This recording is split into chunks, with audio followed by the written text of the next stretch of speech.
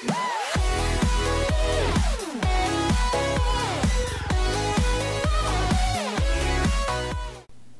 guys and welcome back to another video. Today I'll be showing you how to root your Nexus 6P on the latest Android Nougat for the first build.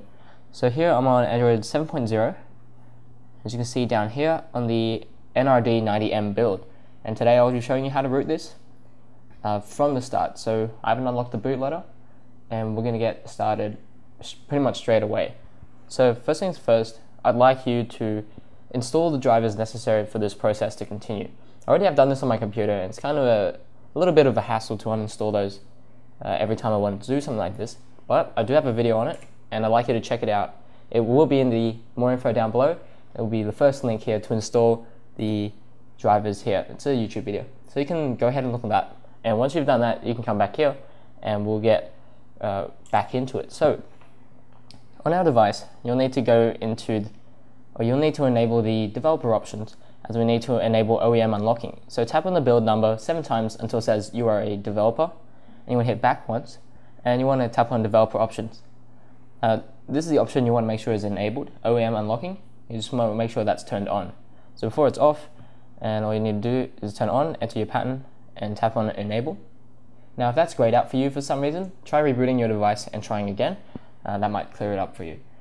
Now at this point, we're going to unlock the bootloader. So that means you'll need to back up all your stuff on your phone as the entire internal storage will be formatted and erased uh, with that process. So before we can do that, we need to head back to our computer, of course, and there are a couple things that we need to download. So I got these in the wrong order, but first things first, we need to download our Android Tools zip. This pretty much contains the ADB fastboot uh, executables uh, along with their DLLs. So what you're going to download and is uh, will look something like this. So it just has four files in there. And all I'd like you to do is save it somewhere so you can easily access it. I've just made a new folder called Android and I'm going to be downloading everything in there.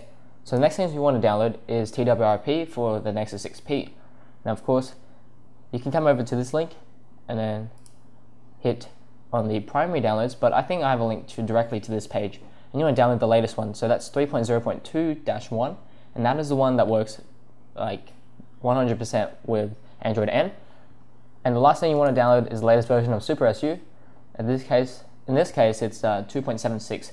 So if that's higher, then there's no problem. Just download the latest one. And once you have four files, including the drivers, but three if we're excluding that, uh, we can get started straight away. So all we need to do is open up Android Tools, the zip file, and we want to extract all these four files outside, just normally, just like that. And that's pretty much it. So now we're going to go and unlock the bootloader. Now to do this, we're going to go to our device and you need to make sure, well, we need to turn off our device and put it in the bootloader. Now you can do a ADB reboot dash bootloader if you like to do that, but we'll go through this manual way just so I guess you can kind of get used to it, just in case anything goes wrong. So all you need to do is in fact hold the power button and volume down, and that should get you to the bootloader. Now the bootloader looks uh, a little like this. Should be exactly the same, and it should be on start, uh, but it doesn't matter.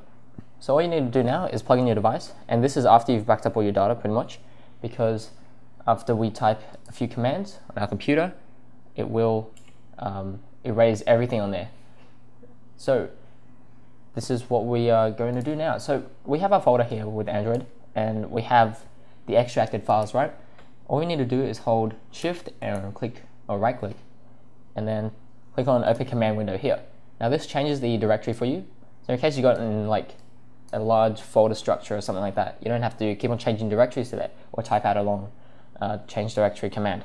So now that we're in our directory, we're going to type in fastboot devices, just like that. And this should pop up your serial number and the mode it's in, fastboot, should pop up. If not, you're going to have to check the drivers again. So I'll just quickly show you. You can right click on the start menu if you're on Windows 8 and above, or you just need to go to device manager. So you can right click on computer and then manage if you're on Windows 7. And you want to see an Android device at the top or something similar. I've heard people having uh, Intel Android bootloaders and all that. Um, as long as it works, I think you should be fine. But try get the Google USB drivers uh, installed. So you can see the bootloader interface has been installed. Otherwise, you might see a, an unidentified device with a little orange exclamation mark. Now that's the one you want to probably right click and install the drivers for, which is covered in that driver installation video, I'll uh, link down below. So next we're going to type in fastboot uh, flashing unlock, just like that. I'm going to hit enter and you can see our device has changed now and, and it asks us if we want to unlock the bootloader. Upon pressing the power button to select yes, your device will reboot into recovery and do a factory reset. So once you're comfortable that you've backed up everything, click on yes, and it'll say unlocked, uh, and then your phone will reboot into recovery, or sorry, into the bootloader, and then at this point, you can actually start the rooting process, uh, which I'll do, actually I'll try it right now. So it's a little bit different from what I just do. I'd ask you to go back in your phone and set up, but I think we can get away with this. So, but we'll have to remember to do a few things. So now that our bootloader is unlocked, you can check down here, device is unlocked. It's a little, little bit small, but that's all right. Or we will have to restart. So just press the power button here and restart our device. So I'll be back when this pretty much boots all the way to Android. And you can set up your phone on this one. There will be no more factory resets unless you decide to flash a ROM or something like that. But just for rooting purposes, uh, this will boot up normally and you can enter all your Google details and all that. And yeah, I'll be back when that finishes booting up. Alrighty, so our device is booted back up and I've pretty much set it up. That we need to copy SuperSU to our device. So to do that, we're going to replug in the USB cord because sometimes it doesn't detect itself back up. So we're going to tap on USB for charging and we're going to change it to transfer files. So that way our computer can access our device's storage. So I'm just going to go in there and we're going to copy the SuperSU file there, we can just drag it in to an empty space like here and it will be copied. So now once you've copied SuperSU, you can unplug your USB cable and you want to reboot back into the bootloader again. And those will be our final, uh, final touches. Again, we're going to have to hold power and volume down to get into the bootloader, like so, and plug in our USB cord again, and going back to our command prompt window, we need to type in this command to flash TWRP. So type in fastboot flash recovery and leave a space on the end and drag in our image, hit enter, and this time it says it's alright. Now what we're going to do now is to press the volume down key until we get to an option saying recovery mode. Uh, it's in red. I'm not sure if you can, no, you can't see that. Now you can see that recovery mode, still a little bit faint, but you're going to hit the power button when it's on recovery mode, and this will boot our device into TWRP. So it's just going to take a few seconds to boot into TWRP, and we should be able to see it very soon here. Now make sure you flash the 3.0.2-1 version of this, which allows the decryption of your data partition on Android N. You can see it's decrypted now, which is fine. And kind of to uh, preserve our phone, we're going to, I guess, you can keep it read-only or swipe to allow notifications. It doesn't really matter, but um, we'll keep it read-only for now. So this kind of allows you to get OTAs and things. So you'll be able to take OTAs using Flashfire uh, much more easily. So now we're going to install SuperSU. And of course, this will be the systemless variant of it, as it does so automatically on the Nexus 6P. It will choose systemless mode, uh, if it's system, it will say system mode. So it's going to patch our boot image for to allow to allow it to run pretty much. And this shouldn't take too long. It's uh, getting quicker every time.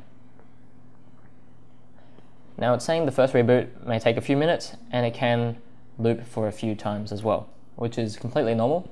I've done this uh, a lot of times. So all you need to do is tap on reboot system and wait for our phone to boot all the way up.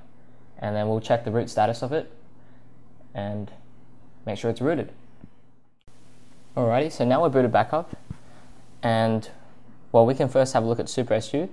I want to go expert because notice that nothing really changes no matter what you press.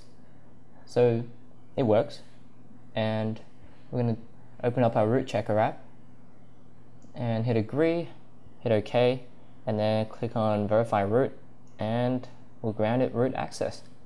So you can see we're properly rooted here on Android 7.0 and so thank you for guys for watching. And if you have any more requests on, I guess, anything now on Android 7.0, and I still have that Substratum video to do as well, and I think a couple of others, but if you have any other suggestions for tutorials on anything now, uh, feel free to leave it down in the comments below.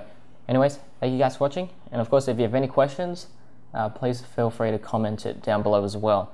So thank you guys for watching, and I'll talk to you in the next one.